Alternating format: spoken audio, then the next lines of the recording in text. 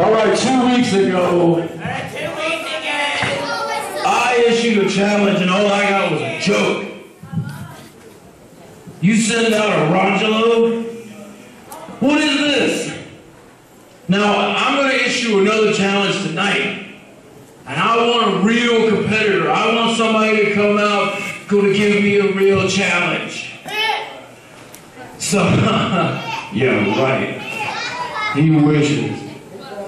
So, whoever wants to come out and get slaughtered, come on out right now, because I'm waiting for you.